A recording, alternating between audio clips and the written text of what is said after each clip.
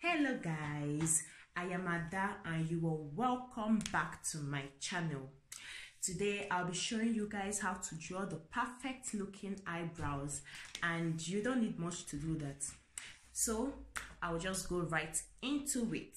So these are very essential in making your eyebrows look very natural. This is the angled brush brown eye pencil brown eye pencil and this is the eyeshadow brush. And here is your brow filler and your concealer. Now i've shown you guys the necessary things we need for this tutorial. So let's continue with it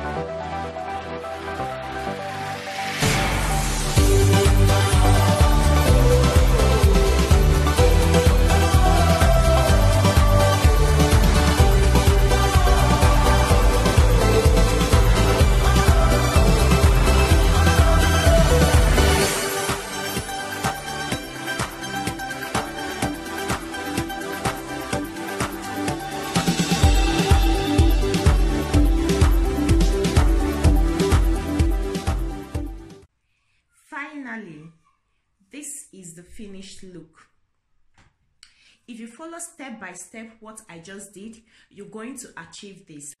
So guys please comment below if you found this tutorial very helpful. And please don't forget to subscribe share with your friends and like